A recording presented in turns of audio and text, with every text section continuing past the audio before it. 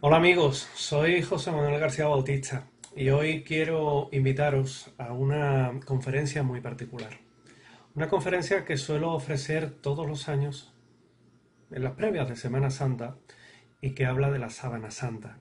La Sábana Santa de Turín. Un lienzo que crea el misterio, da el misterio, pero también tiene mucha historia, mucha fe y mucha religión detrás de ella. La sábana santa que es ese lienzo, el lienzo turinés, que plantea muchísimas preguntas y también quizás todo un enigma de vida. Debido al confinamiento que vivimos, debido al coronavirus, pues este año no se han podido ofrecer este ciclo de conferencias que habitualmente doy en el mercantil, ni tampoco hacer las presentaciones que se suelen hacer, pero yo he querido que seamos todos partícipes y tengamos la oportunidad de disfrutar de ella, haciéndola por este medio que nos ofrece hoy día las redes sociales y que nos ofrece canales como YouTube. La sábana santa, que es muy curioso, es un lienzo muy particular. Yo he de decir que eh, desde que prácticamente eh, supe de ella tras leer un libro, la primera vez que supe de ella fue a través del libro El enviado de Juan José Benítez, pues quedó subyugado. Y es que esa sábana santa es un lienzo que se guarda en la Catedral de Turín, en la capilla de Guerini, en la capilla de la Santa Síndone, que es una obra cumbre del barroco piamontés, y que se tiene constancia de ella en este mismo lugar desde el año 1578, pero hay pocas ocasiones de verla salvo en las ostensiones como va a ocurrir el próximo sábado 11 de abril debido al coronavirus. Es un lienzo que no está expuesto al, público.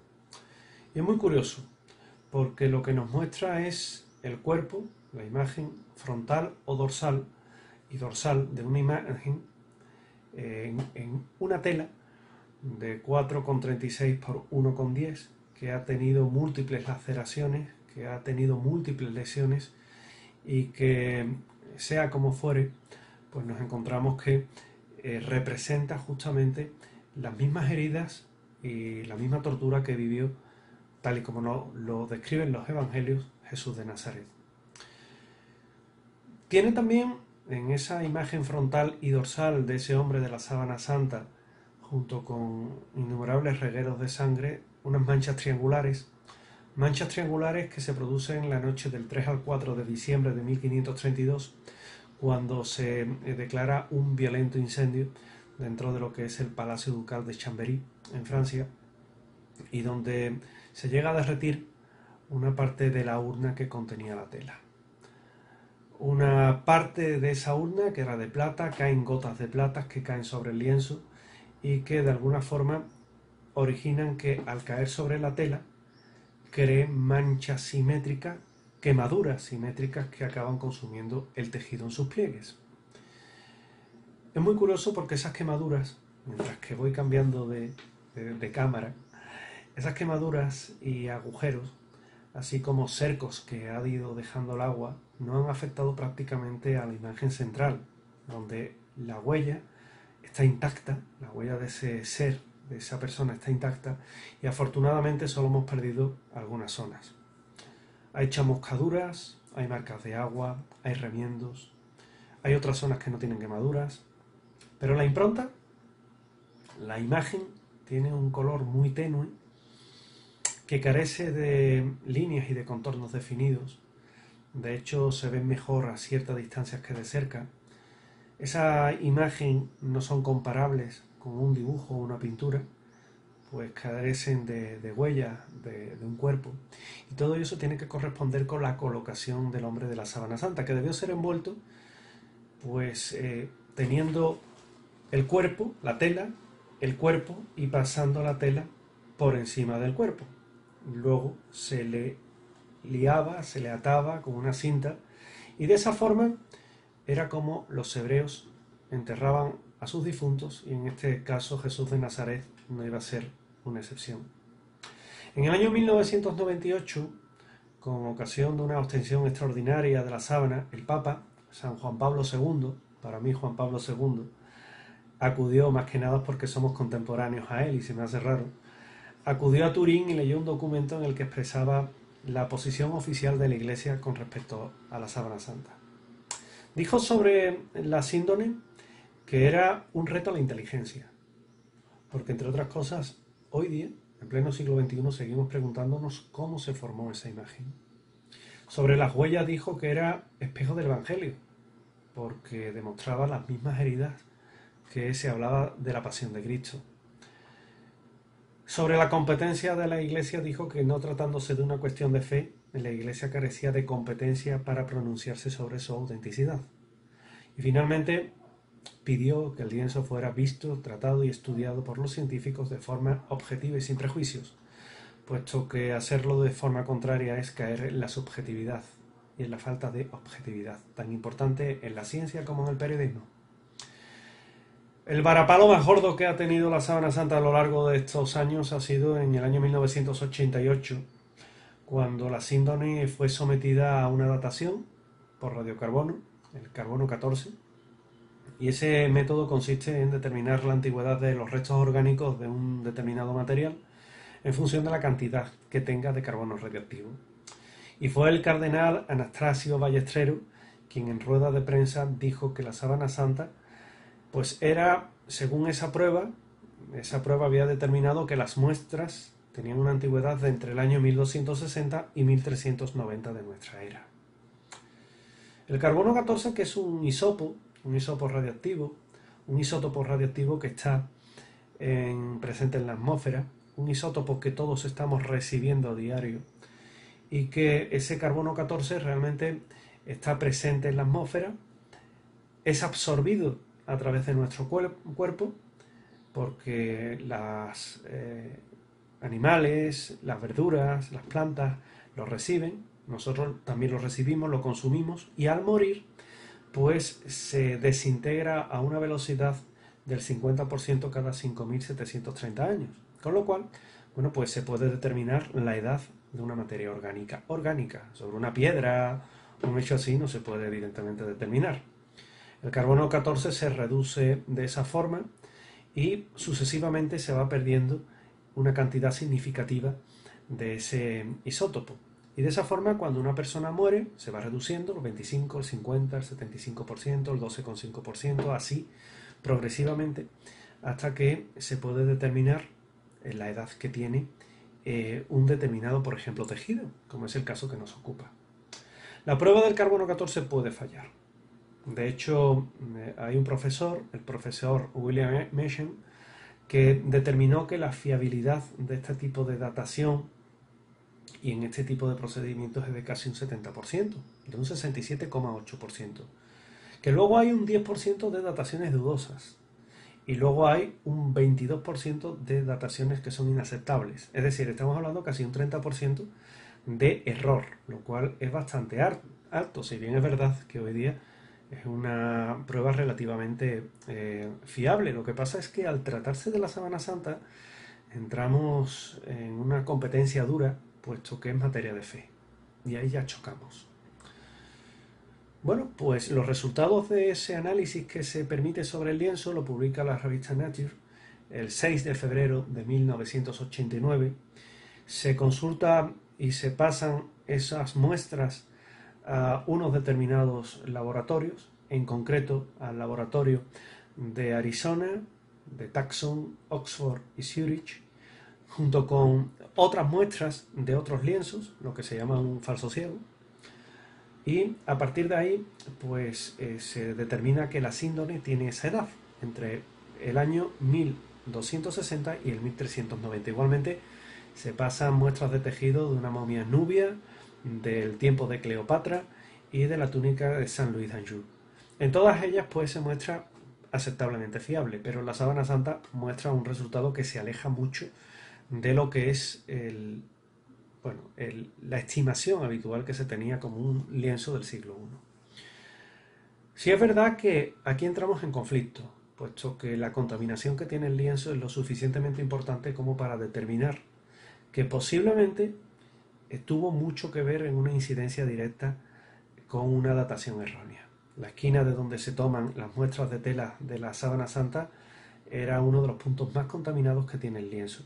Y que durante siglos se ha sostenido que las manos en ese lugar pues iban depositando tejido orgánico que luego en una eh, comprobación de una datación pues daría un margen de error, una línea de desviación. El doctor eh, Harry Goff, en este caso, dijo que la contaminación bacteriana es algo de lo que eran conscientes las personas que eh, sabían que podía ocurrir algo así, pero que no eran conscientes aquellos que participaron en la datación por el método del carbono 14. De hecho, mm, bueno, no creo, eh, decía el doctor Goff, que nadie conociera su existencia hasta que el doctor Garza Valdez descubrió esa posibilidad y aunque no hubiera eh, bueno, tenido en cuenta esto, sí es verdad que debería haberse procedido a una limpieza. Las tareas de contaminación y de limpiado eh, eran vitales porque de lo contrario, pues todo ese material hubiera intervenido decisivamente en provocar un error en la datación del lienzo, como de hecho se cree que ocurrió.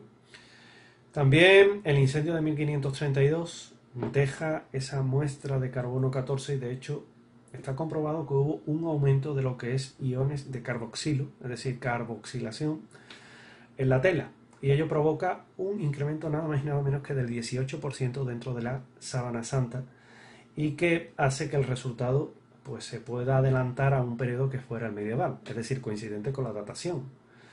Los estudios, por ejemplo, de Raymond Rogers mm, parecen demostrar que la zona de donde se tomó esa muestra era donde también había fibras modernas de remiendos, es decir, que la datación pues careció de muchas medidas de precaución que hubieran podido determinar la realidad o no de una datación fiable.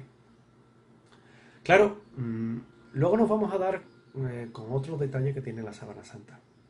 Cuando se fotografía la síndone en el año 1898 se descubre un extraño fenómeno.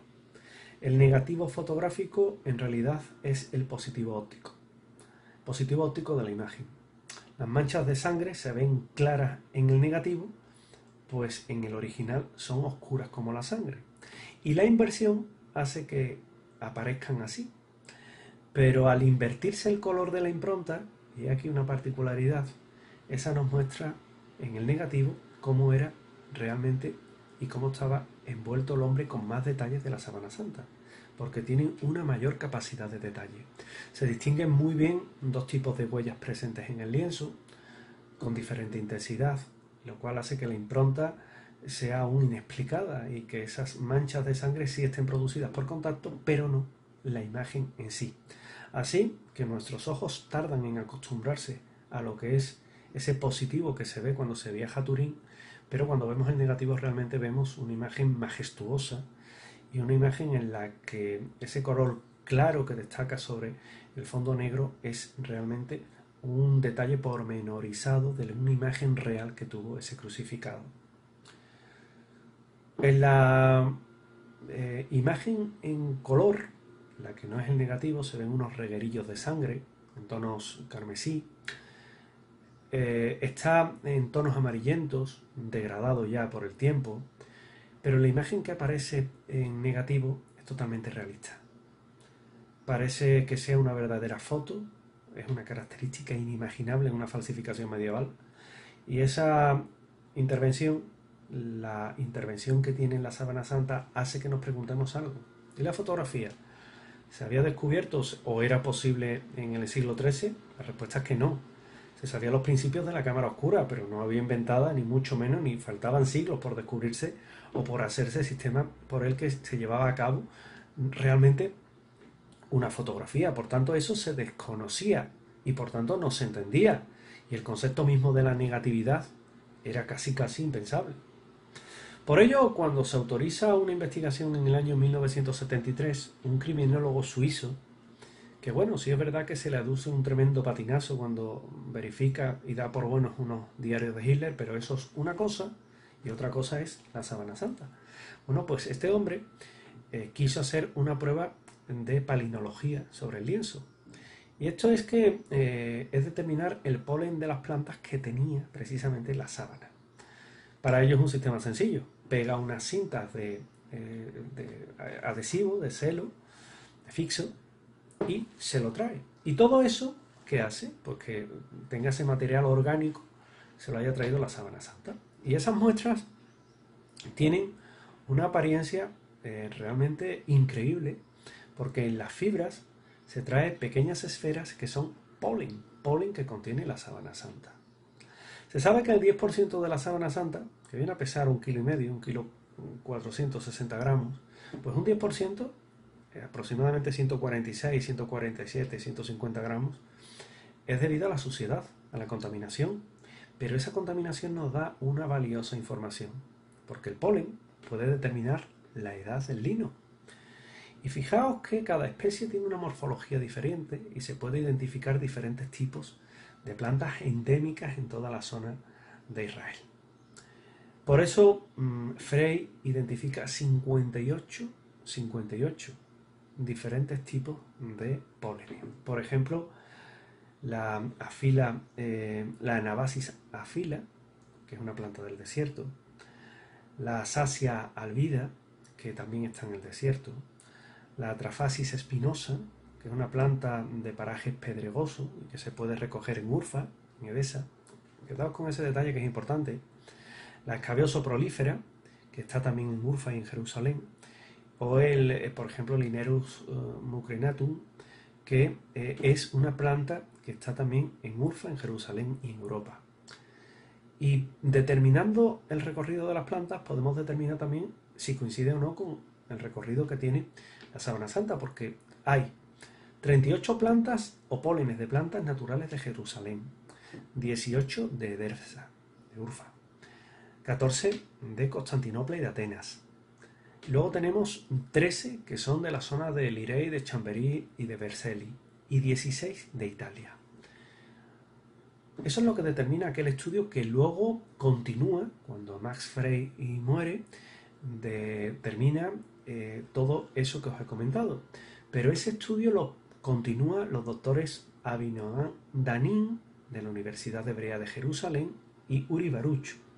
Y es muy curioso porque en 1999 estos dos doctores publican las conclusiones en torno a ese eh, aspecto tan esencial que tiene mm, bueno, ese análisis, ese estudio que se ha realizado sobre la sábana santa y que determina que muchas plantas proceden de Oriente.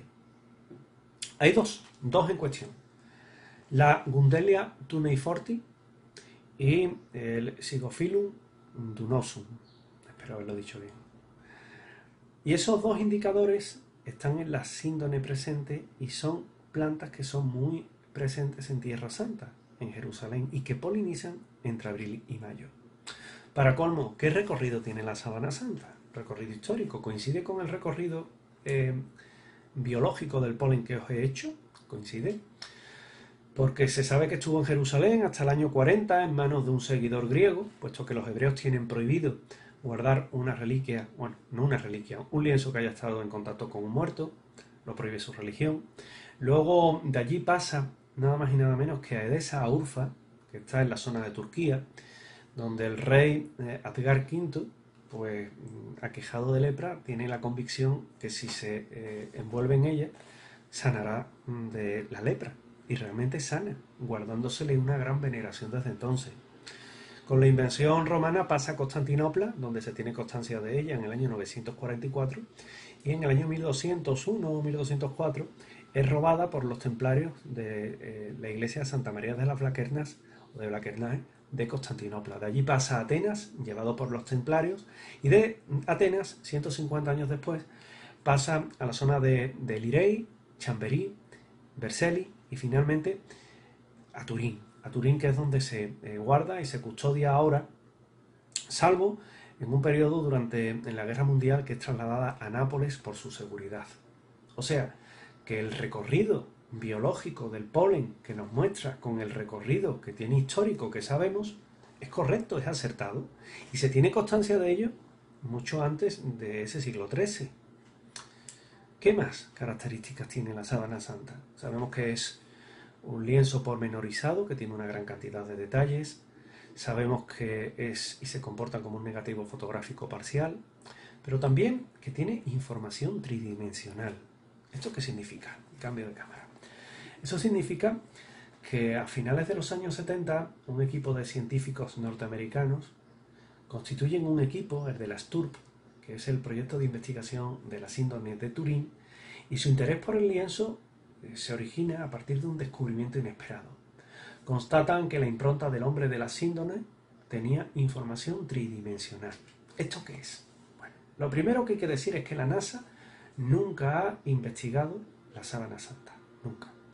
Si es verdad que han sido eh, dos profesionales, dos militares que trabajan dentro del laboratorio de propulsión a chorro de Pasadena de la NASA, los que, bueno, eh, piden autorización para eh, aplicar un analizador, el VP8, que se analizaban las imágenes tridimensionales de Marte para analizar si hay un relieve fotográfico.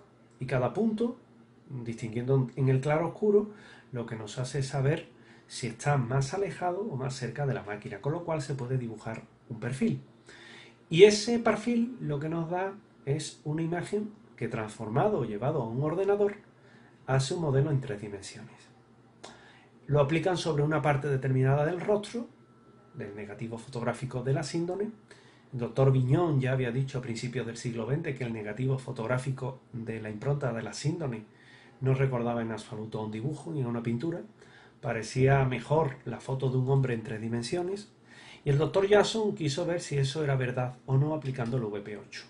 En una fotografía normal, pues hay que decir que la oscuridad se corresponde eh, eh, con una eh, zona, en este caso, que es inversa a lo que es el negativo fotográfico normal, es decir, el claro es lo oscuro y lo oscuro es lo claro. Pero también es decir que en la información tridimensional la oscuridad no se corresponde con la profundidad, sino que está relacionada con las sombras que arroja y con la dirección de la luz. Por eso el VP8, bueno, pues eh, puede llegar a producir errores cuando se aplica sobre una imagen que no tiene información tridimensional. ¿Iba a producir esos errores en la sábana santa? Si los producía es que no tiene información tridimensional. No, no los produjo. No los produjo al revés. Dio un dibujo o dio un modelo que era coherente, era un modelo tridimensional en el que todo tenía una relación. Los pliegues, el reguero de sangre o los regueros de sangre, las distorsiones del agua, todo estaba fijado en ese modelo. Y la impronta de la síndone pues tiene una serie de puntos que estuvieron en contacto con el lienzo y otros que estuvieron más lejos. Y en función de eso está la intensidad con la que quedó grabada la imagen. Qué interesante es esto. La STUR, que hace un interesante trabajo entre el, 8 y el 13 de octubre de 1978, hoy se puede cuestionar, porque nuestras técnicas de hoy, nuestra ciencia es mucho mayor que la de antaño, pero en esa época se hizo lo mejor que se pudo y fue un trabajo muy bien realizado. A tal efecto, al Palacio Real de Turín, porque por aquel entonces la Sábana Santa era propiedad de la Casa de Saboya, hoy día del Vaticano, pues se trasladaron 72 cajas con material para analizar el lienzo. Y se realizaron, por ejemplo, y se implementó una mesa magnética basculante para eh, depositar ese lienzo y ser lo más aséptico posible para realizar 300 experimentos físicos y químicos a los que se iba a someter el lienzo. Y participan, bueno, profesores realmente destacados como John Jackson, Eric Jumper, Stephen Bauhan, es decir, un largo etcétera de eh, más de 60 eh, profesionales, muchos de ellos con premios Nobel, que investigaron la Sabana Santa y que fotografiaron con diferentes espectros de luz eh, al lienzo en fotos con diferente calidad que fueron tomados por Vernon Miller, por Barry Sort, que hicieron espectrografía, espectrofotometría, todo tipo de fotografías con todo tipo de longitudes de onda instantáneas en infrarrojo, en ultravioleta, en luz eh, por la cara visible, por la no visible. Es muy curioso. Fotografía infrarroja. ¿Y esto qué pudo determinar? Bueno, pues lo que determinó es que había determinadas zonas que generaban una cierta fluorescencia, brillaban. ¿Y por qué brillaban? Porque había sangre. Allá donde brillaba la fotografía infrarroja, había sangre. Samuel Pelicori, del Instituto de Investigación de Santa Bárbara y físico óptico de la STUR, en un examen del rostro de la síndone al microscopio binocular adaptado con una visión vertical también tuvo la oportunidad de investigarlo. Pero claro, con esa muestra de brillo dentro de la fotografía infrarroja que se determinaba, ¿había sangre? Pues la verdad es que en la sábana santa hay una gran cantidad de marcas supuestamente producidas por sangre y que están más eh, impresas y son más visibles. También es muy curioso porque en la macrofotografía de las zonas manchadas de sangre se produce un fenómeno de capilaridad, es decir, las manchas en esa zona han traspasado el tejido llegando a la otra cara del mismo. Y para la STUR era suficiente para saber que podía tratarse de sangre. Pero claro, eso no basta. Hay que hacer eh, más pruebas.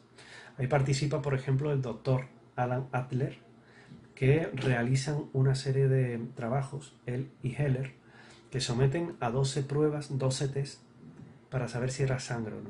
Y todos ellos resultan positivos. Entre ellos, por ejemplo, la prueba de la albúmina, la de pigmentos biliares, la de proteína, la de test de hemocromógeno y el fundamental de fluorescencia de Heller. Y ello lleva a una prueba determinante. La sábana santa tiene glóbulos rojos. Importante también la opinión del doctor Baima Boloni, que es, mm, en este caso, catedrático de Medicina Legal de la Universidad de Turín, que estudia la sábana santa y que Baima Boloni, utilizando el método de fluorescencia de antígenos, determina que el tipo de sangre era la AB, un grupo sanguíneo característico en la raza hebrea y poco común en otras partes del mundo. Bueno, hoy como vivimos en una aldea global, pues posiblemente esté más extendido. Pero también es verdad que la macrofotografía de una imagen sin sangre demuestra, por ejemplo, que las superficies de hilo pues están libres de todo pigmento que pudiéramos considerar sanguinoliento. Igualmente se hace eh, pruebas de fotografía transversal en la que se constata la ausencia de pigmento, en la que hace que, por ejemplo, la STUR tomara pruebas a contraluz, donde no había imagen. Es decir, solamente la imagen está grabada por una de las caras, por la otra no. Realmente es como si no hubiera traspasado en determinadas partes. No hay pigmento añadido al lienzo y son las propias fibras las que han cambiado de color, como si algo hubiera quemado levemente aquellas fibras. ¿Qué más sabemos? Bueno, pues sabemos que un fragmento de madera se ha encontrado en la zona de la cabeza, así como partículas de resina como la mirra y el aloe. Partículas de mirra, mareda de roble. También se ha demostrado que tiene tejido epitelial, que es de piel humana de varón. Igualmente se ha demostrado que tiene tejido muscular de la zona de la espalda, restos de tejido epitelial y bueno, no se han encontrado indicios que el cadáver se hubiera corrompido. Pero el análisis permite determinar que era un varón y que había partículas de carne. A estas alturas, ¿qué debemos saber de la sábana santa? Bueno, que la imagen es superficial, es decir, que la imagen no afecta más que a la parte externa y de una forma muy somera a las fibras de lino que tiene la sábana y que no ha penetrado ni tan siquiera un tercio en el grosor de los hilos. Tiene ausencia de pigmentación, no hay traza de pintura, tampoco el origen podemos decir que sea un pigmento artificial, ni pintura ni tinte. Ausencia de direccionalidad, esto que pues cuando se pinta, todo el mundo pinta en una dirección. Aquí no hay dirección. Es como si la sábana, ¡pum!, la imagen la hubieran puesto ahí. Hay estabilidad térmica. Esto lo que nos indica es que la imagen no ha sido alterada por el calor. La misma porción de la sábana estuvo cerca de las quemaduras producidas por el incendio de 1532 y presenta un colorido idéntico a la imagen y también en proporciones diferentes en función de las llamas. Estabilidad hidrológica es que la impronta del el lienzo no se puede borrar con agua. Y estabilidad química, que tiene un color pardo amarillo, de forma que la imagen no pudo disolverse ni decolorarse o alterarse mediante reactivos químicos. ¿Qué más tenemos que saber? Que es un negativo fotográfico, parcial. Esto es que se comporta como tal y es poco comprensible para nosotros. A nuestros ojos vemos una imagen muy difusa, pero cuando hacemos una fotografía se muestra ante nosotros en su majestuosidad la imagen del hombre de la sábana santa, sea quien sea. Es tridimensional, como he explicado. Tiene información tridimensional en función de la distancia que hay al lienzo. Y tiene pormenorización, es decir, que nos muestra una gran cantidad de detalles que son perfectamente identificables, desde contusiones hasta arañazos, hasta dejarlos, o los, las tremendas heridas que provoca el flagelo romano. Claro, si hoy quisiéramos falsificar una sábana santa, ¿qué sistemas tenemos? Esto es importante. Tenemos que puede ser mediante una pintura o, tinte o polvo, por contacto directo, por vaporigrafía, por vapor o por radiación. Bueno, pues mm, por pintura o tinte no se tiene ni, ni superficialidad, ni pormenorización, ni estabilidad térmica, ni ausencia de pigmento, porque es pintado, ni tridimensionalidad. ¿Qué más eh, tenemos? Por contacto directo careceríamos de superficialidad, pormenorización, estabilidad térmica, estabilidad eh, eh, química, por ausencia de pigmento y tridimensionalidad. Por vaporigrafía, pues prácticamente no tendríamos nada excepto que no habría ausencia, que habría ausencia de pigmento y que no tiene direccionabilidad, pero el resto carecería de todo.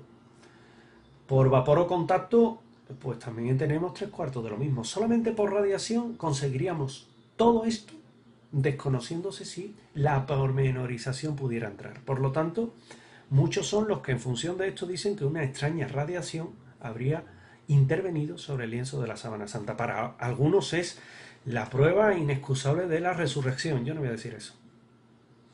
Yo no digo ni que sea el hombre de la sábana santa Jesús de Nazaret, ni que sea en este caso esa radiación fruto de la resurrección. Pero sí es verdad que hay una energía que habría dejado, que es la hipótesis que mejor cuadra, que habría dejado esa impronta. Mm, conclusiones de la. Esto es importante. Cambiamos de cámara. Conclusiones de la Astur. Pues hay un consenso científico en que la imagen es el resultado de algo que provocó la oxidación, la deshidratación y la conjugación de la estructura de los llamados polisacáridos de las microfibras del lino mismo. La segunda conclusión es que no se conocen métodos químicos o físicos que puedan explicar la totalidad de la imagen. Tampoco puede explicar la imagen de forma adecuada ninguna combinación de circunstancias físicas, químicas, biológicas o médicas. Como consecuencia de todo esto, pues nos vamos a encontrar con algo muy particular, que es el problema de cómo se produjo la imagen o cómo se logró una imagen que de cualquiera de los casos hoy es un misterio. Esas fueron las conclusiones que dictan en el informe final en el año 1981, después de ciento de 50.000 horas de trabajo, y en el que en base a todos esos procesos pues se admite el desconocimiento que hay sobre la sábana santa. Otro detalle importante es la tela. La tela hay que decir que es propia de un telar de Cafarnaún, de Jerusalén o de Alejandría del siglo I al siglo IV. A partir del siglo IV este tipo de tejido se deja de hilar en un telar y por tanto es imposible. Un falsificador tendría que haber tenido en cuenta todo lo que estoy diciendo y tener un lienzo de 10 siglos antes guardado para que una generación venidera le diera por hacer una obra de estas características. Impensable. Pero, ¿qué nos dicen los forenses? Bueno, pues los forenses nos dicen que la síndrome refleja con exactitud médica la ejecución idéntica a la descrita en los evangelios. Por eso dice la Iglesia que son y que es espejo del Evangelio. Igualmente, mm, bueno, se conocen muchos casos de personas que hayan sido torturadas de esta forma. Crucifixiones hubo muchas pero que nos lo cuenten en Jerusalén, crucificado, bueno, no nos adelantemos. Porque lo primero que tenemos que decir es que hay detalles del rostro que se ven en el negativo fotográfico y que tienen sangre, pero que muestra que esa persona es de una gran belleza y que tiene muestras evidentes de haber sido agredido. Rotura, por ejemplo, del cartílago nasal, un golpe en el pómulo, caída, como si lo hubieran tirado de los mechones de la barba. Y de esa forma, quizás el que mejor ha retratado todo esto es el profesor y buen amigo mío, Juan Manuel Miñarro, catedrático en Bellas Artes por la Universidad de Sevilla, excelente imaginero y excelente persona, que ha hecho tanto la imagen sindónica como el Cristo yacente, hemos tenido la oportunidad de disfrutar en, una eh, grandísima exposición que se realizó hace años, y también diferentes nazarenos que muestran un poco lo que es esa idealización de ese hombre de la Sábana Santa en vida. Pero sí es verdad que el estudio, según Julio Risi, muestra que el rostro tiene marcas de sudor, de lágrimas, de sangre, de saliva, una contusión en la mejilla derecha que según los forenses es el equivalente al que produciría un golpe dado por un zurdo con un bastón de unos 4 centímetros de diámetros y que hacen que eh, esté bastante marcado. Esa enorme contusión en lo que es la zona de, la mejilla hace que eh, sea muy evidente dentro de lo que es la sábana cuando se estudia. Pero también nos vamos a encontrar con morfología de heridas, como por ejemplo esa corona de espinas, que según las manchas de sangre destacan por muchas zonas de esa misma tela y que dentro de ese trabajo de las TURP pues se comprobó que debajo de las costras de sangre había una impronta. Una impronta y la impronta del cuerpo, pues eh, esa estaba justamente en la zona en las que no hay sangre, porque en las que hay sangre no hay impronta. Es decir, la, la sangre estaba ya. Este detalle es muy importante. ¿Por qué es importante? Porque si tienes sangre, un falsificador hace el lienzo y luego le pone la sangre. Sin embargo, si la tenía de antes, es que la contuvo un cadáver. Luego hay muchas heridas punzantes, sobre todo en la cabeza. Una corona de espinas como lo podemos ver en imágenes tan impresionantes como el Gran Poder aquí en Sevilla. No fue una corona de espinas, fue un casco de espinas. Y en la sábana santa se cuentan casi 60 heridas punzantes. Eso tiene una correspondencia muy clara con lo que es la anatomía general y hay detalles que no se tienen en cuenta en el siglo, por ejemplo, eh, bueno, en el siglo XIII es impensable, pero luego se hace según una iconografía popular que lleva al error y que por tanto es poco menos que increíble el pensar eh, que se pudieran tener esos conocimientos en un supuesto, bueno, artista del siglo eh, eh, 13, 13-14. Giulio Ricci presenta un concepto no de corona de espinas, sino de casco de espinas, que se trataría de un montón de varas de espinos desordenados que habrían encajado ¡oh!, y habría perforado el casco, lo que es el cuero cabelludo, el cráneo de la cabeza, vamos, de lo que es la piel del hombre de la sábana santa, tal y como refleja y muestra el lienzo de la sábana santa. También hay eh, muchas muestras de latigazos. Eso se hacen con el llamado flargum taxilatum, que es un instrumento de flagelación, el cual tenía tres colas, o latigo de tres colas, el cual tenía pesas o huesos en sus extremos que estaban llamados a provocar el mayor número de heridas posible y el mayor dolor. No importaba eh, la vida del, reo, el reo estaba condenado a morir, pero sí es verdad que lo que quería era ejemplar, ejemplarizar con todo lo que eran eh, otras personas que pudieran inducirle a imitar a aquel que estaban eh, flagelando, ya con ese, esa muestra de crueldad decían, yo no me arriesgo. De forma que el hombre de la sábana santa ha sido flagelado por dos sujetos, un zurdo y un diestro, le han dejado gran parte de esas zonas en carne vivo, se ha azotado al estilo romano, es decir, más de 120 azotes que daban de forma indistinta, ya que los, los romanos daban 120, pero los hebreos daban 39 y con distinto instrumento. También el reo porta un peso grande sobre sus hombros. No era la típica cruz de Nazareno con los que vemos que la lleva cuesta, sino que iba atada en todo lo que es la parte de los hombros y claro, cuando caías caías sobre la, sobre la cara prácticamente, pero lo portan los hombros y se muestra escoraciones muy importantes que tienen que ver y que demuestran esa carga de ese madero. No es el típico nazareno que estamos acostumbrados a ver en la Semana Santa, sino que lo llevaba atado al estilo de la pasión de la película de Mel Gibson. Es muy dura, es muy cruda, pero es muy real. Mm, la cruz solamente lleva una parte de la madera, la otra parte, lo que se llama el stipes, que es la parte, en este caso vertical, es la que permanece en ese eh, lugar donde iba a estar y donde iba a ser conducido el reo. Él lo que llevaba aportado sobre sus hombros era de forma horizontal el patíbulo o patibulum y luego el titulus cruci, que es la tablilla con la causa de la condena. Jesús de Nazaret, por ejemplo, le ponen rey de los judíos, que es por lo que él se eh, denominaba y por lo que es condenado, por herejía, ¿verdad? Los regueros de sangre también son muy curiosos, nos dicen muchas cosas. Porque una mano está sobre la otra en la sábana santa y se aprecia una herida en la mano izquierda, pero el reguero del otro brazo indica la presencia de otra herida semejante en la mano derecha. Los evangelios nos dicen que fue clavado por las manos y que así parece que habría estado, bueno, crucificado. Sin embargo, es un error.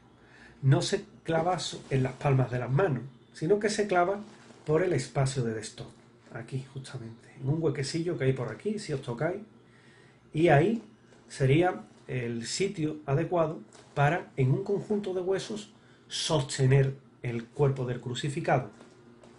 No de otra forma, la palma de la mano no puede sostener porque esto es tejido blandito, como yo digo. Si alguien es crucificado por aquí, se raja y se cae. Imaginaos el espectáculo.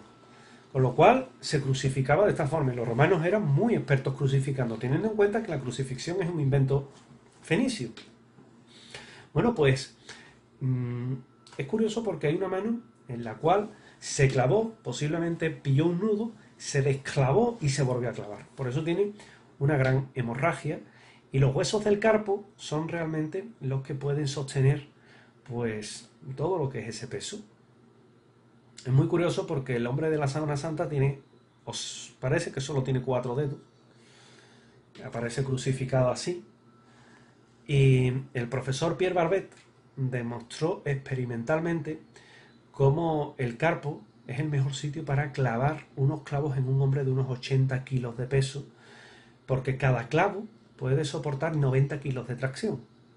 Un clavo colocado ahí lesiona el nervio mediano y cuando se clava, cuando se mete el clavo, corta ese nervio, lo lesionas de forma que ese clavo mediano tiene una función que es motora y sensitiva. Así que una parte produce el repliegue automático cuando se atraviesa, por el cual el dedo pulgar se mete hacia adentro, se repliega y queda de la forma que queda en la sábana santa. Imaginaos el dolor que eso puede llegar a causar. Para colmo, el hombre de la sábana santa, una vez que está crucificado, le cuesta, nunca mejor dicho, Dios y ayuda eh, todo lo que es respirar porque tiene que hacer auténticos esfuerzos para coger aire, pero ¿sobre qué lo hace? Pues apoyándose sobre las manos o sobre los pies. Eso le provoca un dolor indescriptible, de forma que cae de nuevo hacia abajo y nuevamente empieza otra vez ese esfuerzo tremendo por tratar de eh, respirar. Es una posición de descanso muscular, que es una postura muy forzada, y luego nuevamente el esfuerzo titánico por coger un poco de aire. Esa, eh, bueno, esa posición hace que eh, la persona sufra mucho en la cruz. De hecho, los romanos le colocaban un, un apoyo en los pies para que, bueno, los pies eran atravesados por un solo clavo y era muy curioso porque el crucificado para respirar tenía que bascular sobre las manos, de forma que movía las manos y eso le iba provocando cada vez mayor dolor. Eso crea una concordancia perfecta, según los estudios, con las posiciones del crucificado, de la síndrome y la hemorragia que tiene en las manos este mismo. Los pies. Los pies tienen manchas de sangre. Los expertos piensan que estaba eh, el pie eh, izquierdo clavado sobre el derecho, quedando la pierna izquierda más flexionada cuando se produjo la, vez la rigidez cadavérica. No quiere decir que fuera cojo, ni mucho menos como se ha dicho por ahí. No era cojo, simplemente que esa rigidez cadavérica le pilla para que doble una pierna sobre la otra. Hay muchas representaciones que, por ejemplo, el Cristo de Velázquez, que tiene, eh, bueno, pues estas cuñas, este, estos reposapiés, ¿verdad? Y también hay otros pintores que lo han pintado con dos clavos. Un solo clavo y el hombre de la sábana santa posiblemente no llevaba lo que se llama el subpedaneum, que era ese lugar eh, por el que se eh, podía tener ese reposapiés, sino que tenía los dos pies juntos y clavados al madero. También hay un detalle importante, la lanzada, porque la fotografía de la sábana santa nos muestra cómo hay una zona muy cerca de uno de los triángulos de una quemadura en los cuales hay mucha sangre.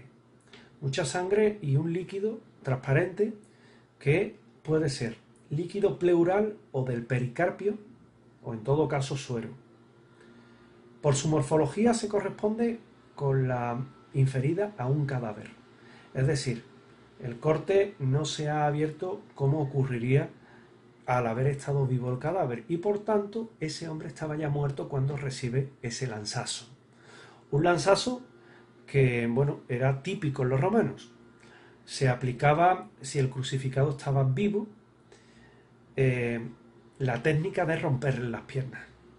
Le rompían las piernas, no se podía apoyar para respirar y moría asfixiado. Que en muchos casos pues era casi un alivio para el condenado que lo pasaba francamente mal, que podía llegar a estar dos y tres días allí crucificado retorciéndose de dolor.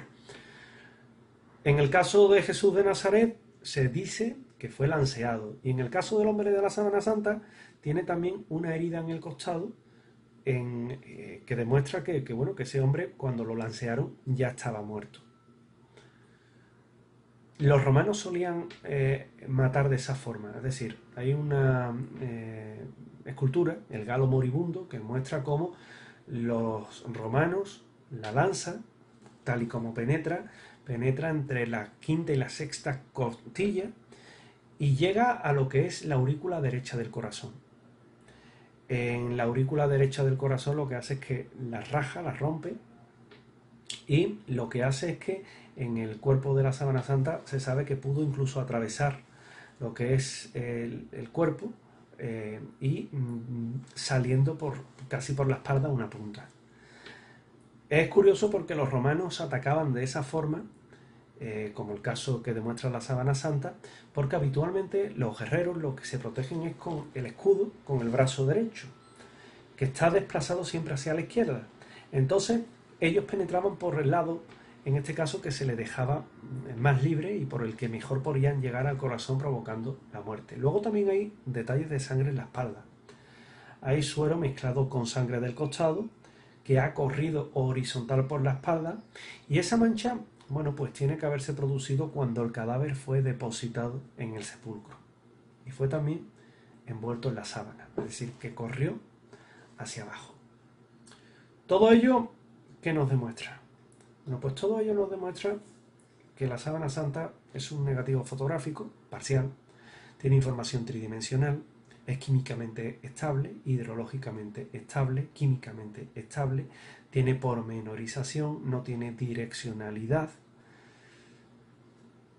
demuestra que las heridas de la pasión se corresponden perfectamente con las heridas de la pasión que nos describen los evangelios sobre el cuerpo de Jesús de Nazaret.